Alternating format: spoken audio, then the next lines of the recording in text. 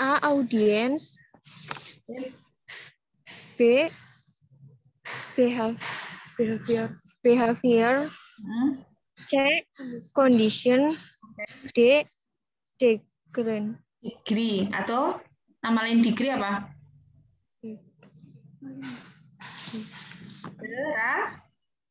Suatu pencapaian. Derajat. ya. Suatu pencapaian, Bu. Ya, namanya derajat ya. Oke. Ragil udah belum ya Ragil tadi? Belum. Ya, yuk ABCD.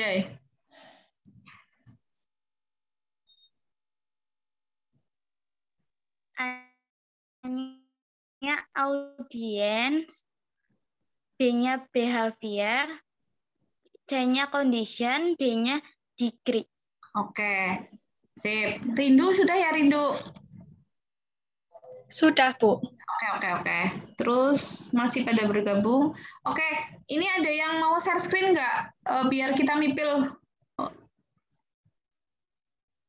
Yang tadi siapa? Oktaviani ya? Yang mau share screen? Iya, Bu Oktaviani. Apa ada lagi biar kita agak cepet? Iya. Tadi udah ngisi link kehadiran belum ya kalian? Pak, udah ngisi link kehadiran belum? Sudah, Bu. Sudah ya, oke. Ada yang belum? Oh ya, ini saya share eh, Iya, ini. Isi link kehadiran ya. Iya, Bu. Iya, Bu. Octavia, halo Octavia, saya jadikan host ya, biar kamu bisa eh, share screen.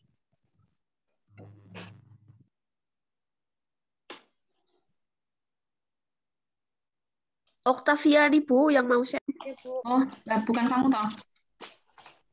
Octavia Nur beda ya sama Octaviani ya.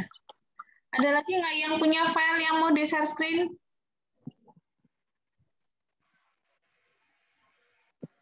Octaviani, saya jadikan host ya.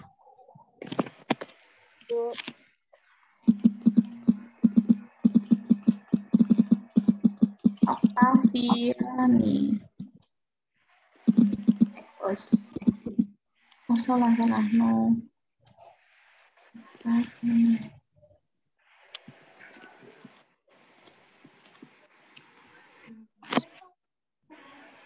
Ya, sudah. Oke, sambil saya lanjut responsi dulu.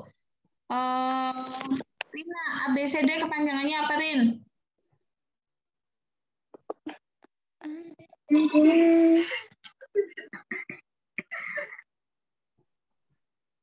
Sendiri.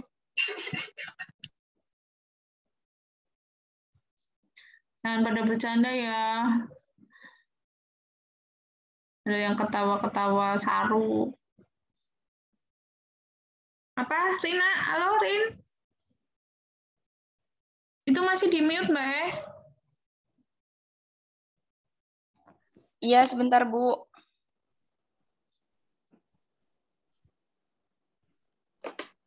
Coba sebelahmu ada siapa, Rin? Ada temanku, Bu. Mm-mm. Terus tertawa gitu. Nggak boleh ya, Saru. Saya aja serius kok kalian ketawa, enak aja. Ditakoni orang yang mending. Rizky, Diana dulu. Rizky, yuk. ABCD. Audience, behavior,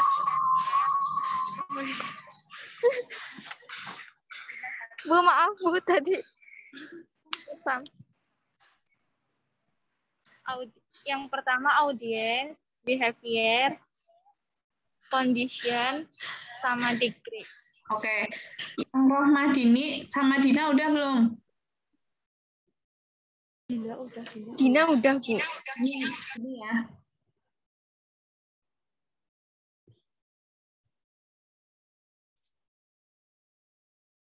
Silakan Rohman ini.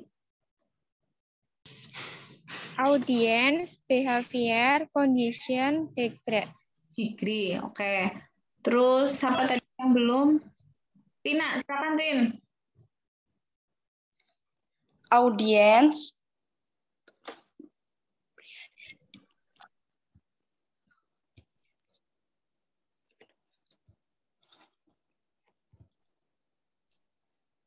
Ya.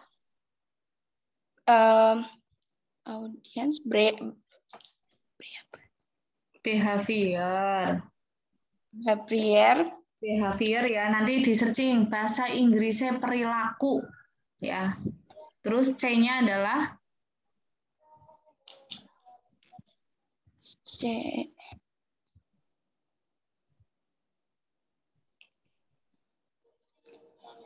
condition. Condition ya, Rin. D-nya Iya, adalah degree. Guys, ngesuk ujian KTI siji-siji ya. Dan ini udah apalan ABCD, tapi analisis ya. Jadi wis kudu mulai eh, ngapalin ya. Octavia, yuk ABCD. A-nya audien, B-nya behavior, C-nya condition, terus D-nya degree. Degree. Kue maca ora keton ya. Nek kue maca putri ora weruh.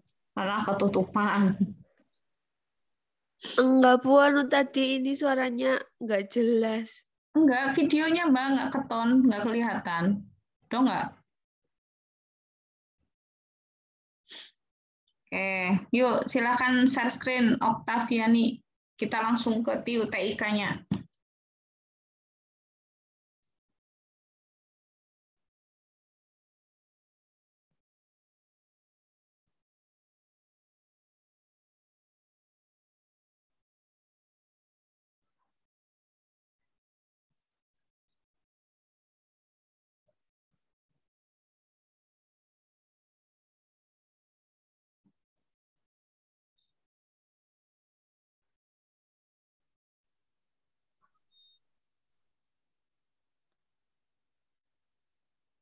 Kelihatan nggak Belum?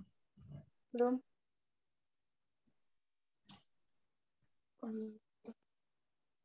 Sense.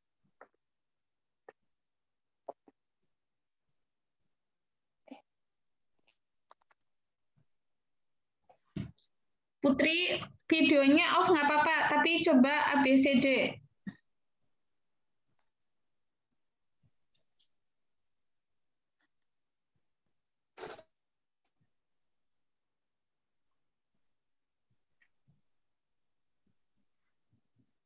Sudah bu Ya.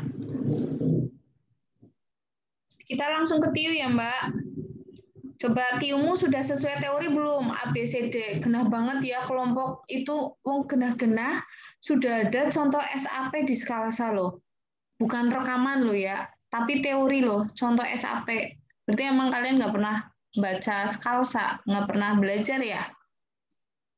Ya apa iya? Di sini untuk meningkatkan pengetahuan, padahal ibaratnya tinggal kopas loh dari file yang saya share di Skalsa. Ini keton banget orang kalian searchingnya di internet. Nah, yang searching di internet mah bayar kuota, nggak bayar SPP. Kalian tuh bayar SPP loh. Ya kan? Kuliah kayak gitu. Ya, ya dapat makanan enak tapi nggak dimakan kan sayang. Ya kan? Makanannya di mana? Di Skalsa. Coba yang TIU, adakah sudah adakah komponen ABCD uh, Octaviani? bentar bu Yuk, TIU aja. Kita ngomongin TIU yang di depan kan?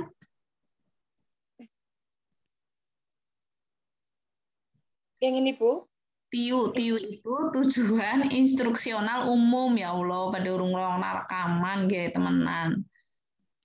Maaf bu yang membaca Pitaloka Enggak, saya nggak perlu membaca, nggak usah nggak usah presentasi, wong Nukian salah, apa yang dibacakan? Ya, kita langsung membahas. TIU itu tadi teorinya harusnya ada ABCD, guys. Ya kan? Yang tadi dihafalkan sama Rina, sama Dina, sama Dini. Audience, behavior, condition, degree. Mudeng ya? Dong nggak? Iya, Nah, sekarang kita lihat yang di TIU audiensnya ada nggak?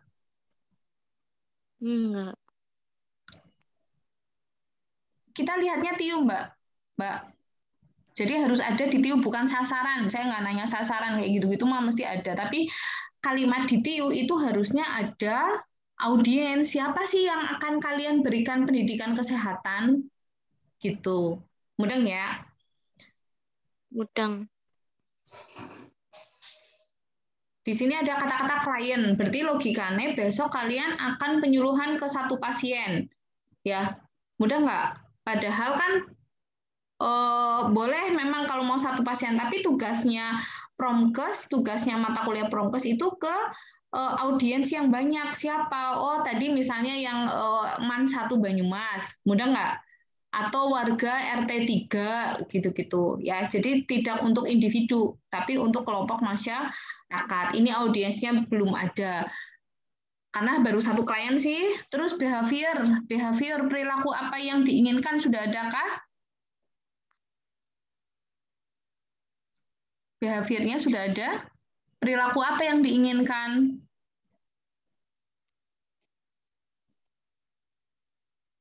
Apa sudah adakah? Mbak kita lihat yuk Mbak ke atasan itu. Behaviornya ada? Behavior kan tadi kognitif, afektif, psikomotor.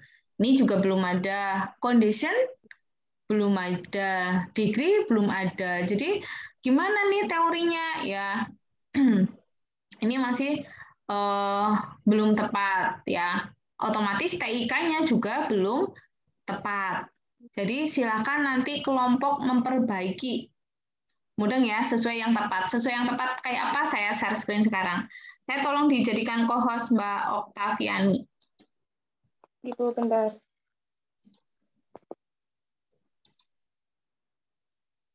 Semoga komputernya udah cepet ini saya.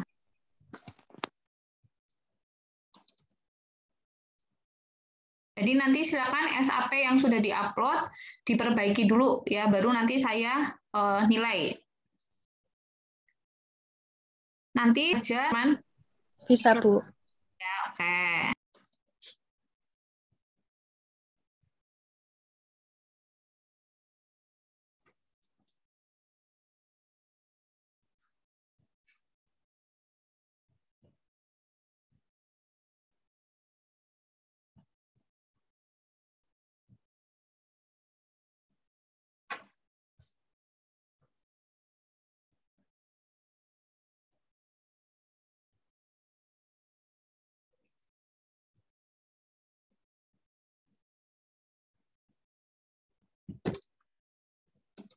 Oke, bentar ya.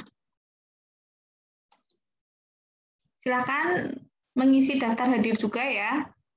Nanti saya merekap kehadirannya dari situ. Daftar hadirnya ada di chat ya. Hmm, mana contoh SAP?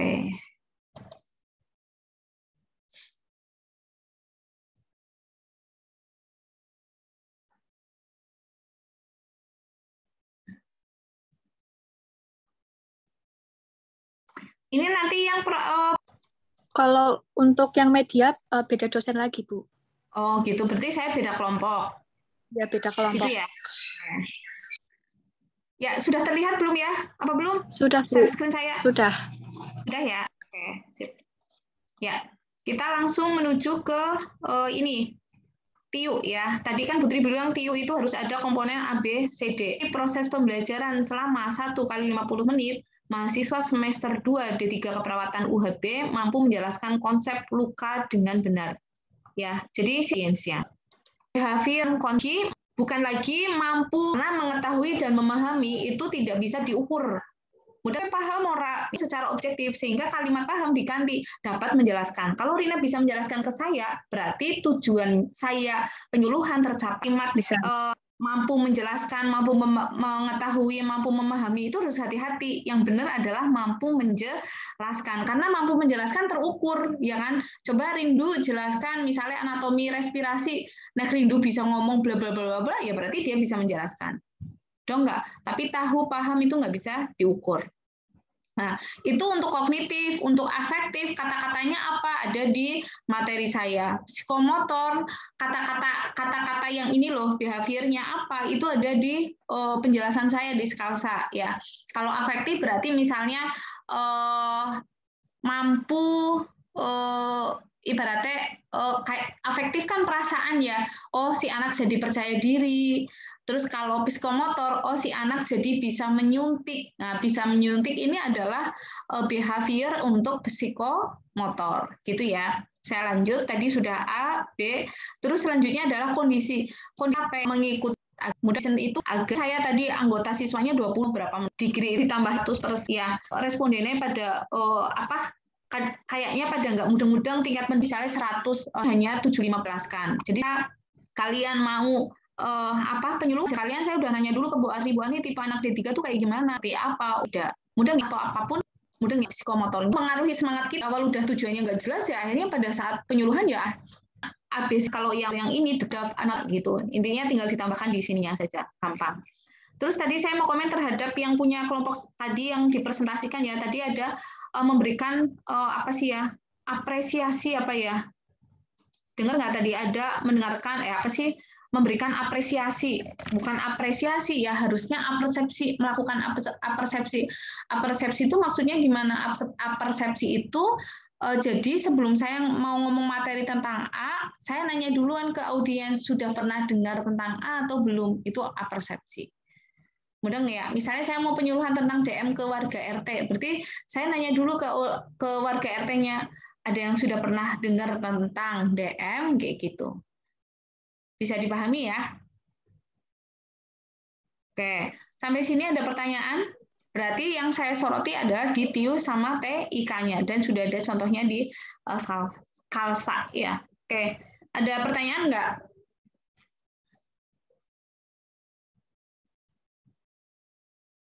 Kalau nggak ada, diakhiri. Ya. Oke, to-do list yang harus dilakukan sekarang adalah pertama WA dulu ke saya salah satu ya, misalnya Putri eh, yang kelompok dengan Putri ada kelompok misalnya 789, eh, 7 anggotanya siapa, 8 anggotanya siapa, 9 anggotanya siapa, gitu ya. Terus selanjutnya adalah memperbaiki SAP dan diupload ulang ke Skalsa. Bisa dipahami?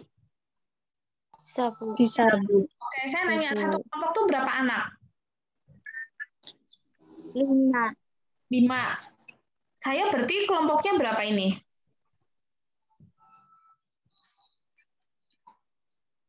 Ada tiga kelompok, Bu. Tiga kelompok berarti kudunya limolas. Iya. Ini ini sembilan doang kan, wong ini sepuluh dengan saya.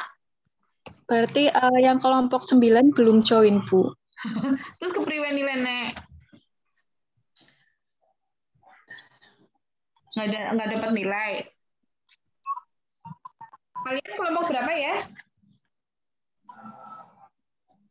Sembilan. Kelompok sembilan. Kalian kelompok sembilan. Nanti poin intinya. Saya Nanti WA ke saya salah satu ya. Jangan banyak, satu aja yang WA. Terus nanti saya rekap kehadirannya ya dari Google Form-nya. Oke? Iya, Bu. ya Mbak. Uh, semoga bermanfaat. Pesan moralnya berarti silakan uh, makanan yang enak ya makanan enak tuh materi di skalasa didengarkan pokoknya pengerjaan tugas ya sesuai dengan teori gitu ya oke terima ya, kasih Putri akhiri wassalamualaikum warahmatullahi wabarakatuh Waalaikumsalam warahmatullahi wabarakatuh. Terima kasih Bu.